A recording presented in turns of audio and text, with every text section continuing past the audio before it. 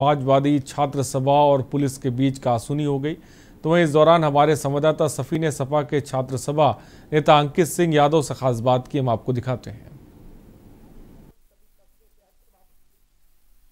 हमारे साथ बात करने के लिए छात्र विंग के नेता मौजूद हैं। आज आप लोग मुलाकात करने वाले हैं। क्या कुछ है? असल में लखनऊ विश्वविद्यालय का संयुक्त छात्र मोर्चा, जिसमें तमाम संगठन शामिल हैं, वो किसानों के आंदोलन पे, लखनऊ विश्वविद्यालय की तरफ़ से नौजवानों का छात्रों का समर्थन पत्र देना है। हम लोग को यहाँ चाय पीना था।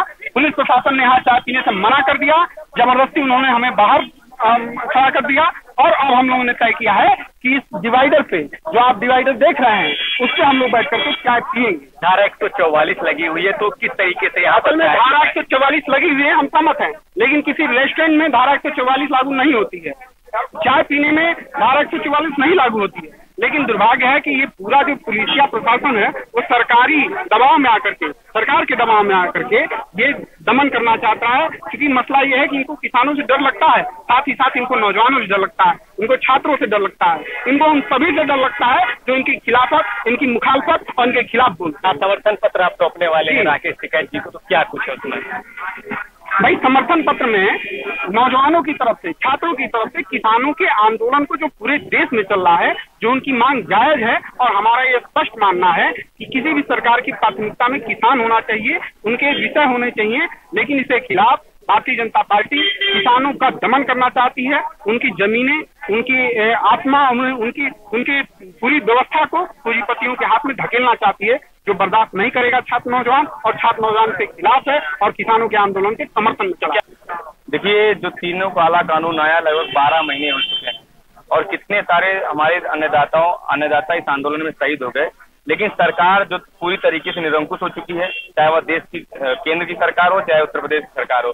आप तानाशाही का आलम ये देख लीजिए कि हम लोग जहाँ पे बैठ के राकेश टिकैत जी को अपना समर्थन पत्र देना चाहते थे, उनके साथ बातचीत करना चाहते थे वहाँ पे ताला डलवा दिया जाता है।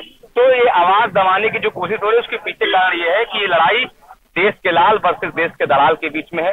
भारतीय जनता पार्टी देश के दलालों के साथ खड़ी हुई है, इसलिए वो लड़ाई लड़ रहे हैं और पूरी तरीके से तानाशाही अपना रहे हैं। और हम लोग देश के लाल के साथ में, देश के अन्नदाताओं के साथ में, क्योंकि हमारा पेट पालता है। और पहले दिन से, आम आदमी पार्टी पहले दिन से जो तीनों काले कानून के खिलाफ जो आंदोलन चल रहा है, उसके साथ हम लोग खड़े हैं। जब जब राकेश टिकैत जी और इस किसान आंदोलन जब जब उनको जो भी जरूरतें हुई, आम आदमी पार्टी ने पूरी तरीके से मुहैया कराया।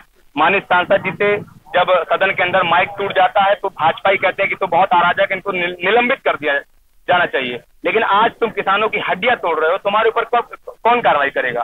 तो पहले दिन से हम लोग इस आंदोलन के साथ में करेंगे अगर यहाँ पे ताला पड़ेगा तो हम लोग सड़क की बात करेंगे।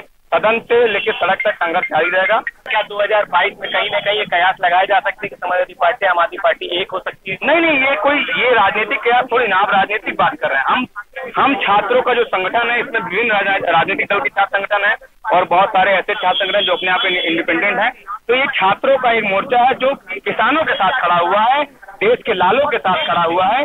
भाजपा जो देश के दलालों के साथ राजनीति कर रही है, हम उसका मुंहतोड़ जवाब देने के लिए आते ये आम आदमी पार्टी के प्रदेश अध्यक्ष हम आपको दिखा दें कि ये शिरोज कॉफ़ी है। कुछ देर पहले ये खुला हुआ था, लेकिन जब यहाँ पर पुलिस फोर्स आई है तो उसने यहाँ पर ताला लगवा दिया है। यहाँ पर लोग अंदर बैठकर चाय पीने वाले थे, लेकिन धारा एक का हवाला देते हुए जो पुलिस प्रशासन उसने साफ़ तौर से सभी को बाहर कर दिया है और साफ़ बात कह दी है कि अगर यहाँ से नहीं जाते हैं तो सभी पर मुकदमा लिखा जाएगा। लेकिन फिर भी अगर बात करें छात्र विंग के जितने भी नेता हैं, वो राकेश शिकायत का इंतज़ार कर रहे हैं, मुलाकात करने की बात कर रहे हैं।